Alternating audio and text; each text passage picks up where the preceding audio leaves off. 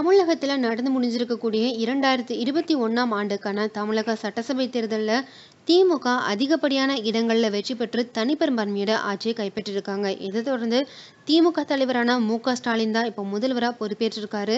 சென்னை ஆழ்வார்பேட்டையில் இருக்கக்கூடிய சித்தரஞ்சன் சாலை பங்களாவில் தான் வாழ்ந்துட்டுருக்காரு மு. க. ஸ்டாலின். ஆனால் பார்த்தீங்கன்னா அங்கேருந்து இருந்து அரசு பங்களாவுக்கு அவர் இடமாற இருக்கிறதாகவும் வந்து அறிவாலய வட்டாரத்திலேருந்து தகவல்கள் தெரிவிக்கப்பட்டிருக்கு.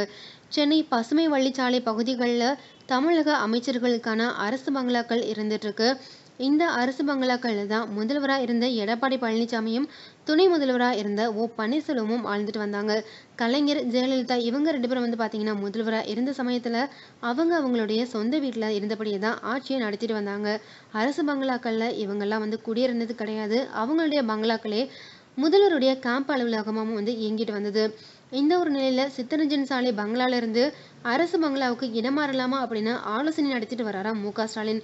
இதை பற்றி சமீபத்தில் கோட்டை அதிகாரிகள் என்ன சொல்லியிருக்காங்க அப்படின்னா, ஒரு நாளைக்கு சராசரியாக இருபது மணி நேரம் உழைக்கிறாரு முதல்வர் மு. ஸ்டாலின். அமைச்சர்கள் கூட ஆலோசனை, உயரதிகாரிகளுடன் ஆலோசனை, காவல் அதிகாரிகள் கூட ஆலோசனை அப்படின்னு ஏகப்பட்ட ஆலோசனைகளை நடத்திட்டு வராரு இத்தகைய ஆலோசனைகளுக்காக அரசு பங்களாவில் குடியேற திட்டமிட்டிருக்காரு மு. ஸ்டாலின்.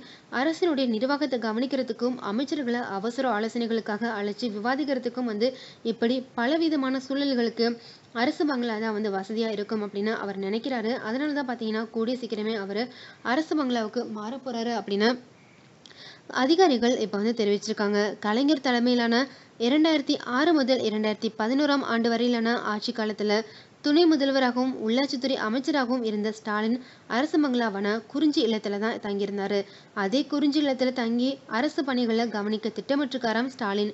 கடந்த 10 ஆண்டுகால அதிமுக ஆட்சியில இந்த குறிஞ்சி இல்லம் வந்து பாத்தீங்கன்னா சபாநாயகரா இருந்த தனபாலுக்கு ஒதுக்கப்பட்டிருந்தது.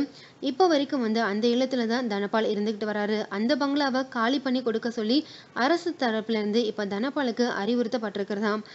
பங்களா காலியானதுமே அத சரி செஞ்சு பணிகளை அந்த சரி செய்யக்கூடிய அந்த பணிகளை வந்து இப்போ பொதுப்பணித்துறையினர் வந்து இப்ப கவனிக்க இருக்கிறதாகவும் வந்து தகவல்கள் வெளிவந்திருக்கு. குறிஞ்சி இல்லம் வந்து பாத்தீங்கன்னா முதல்வருடைய விருப்பத்துக்கு ஏத்த மாதிரி மாத்தி அமைக்கப்பட்ட பிறகு அந்த இல்லத்துக்கு முதல்வர் இடமாறுவார் அப்படின்னு வந்து தெரிவிக்கப்பட்டிருக்கு. இந்த அரசு பங்களா முதல்வருடைய முகாம் அலுவலகமாக மட்டுமே செயல்படும் அப்படின்னு வந்து சொல்லப்படுது. இதை பற்றினா உங்களுடைய கருத்துக்களை கமெண்ட்ஸில் பதிவிடுங்க. இந்த வீடியோ உங்களுக்கு பிடிச்சிருந்தா லைக் பண்ணுங்கள் ஷேர் பண்ணுங்கள் உடனுக்குடன் தகவல்களை தெரிஞ்சுக்கிறதுக்கு நம்ம சேனலை மறக்காமல் சப்ஸ்கிரைப் பண்ணுங்கள்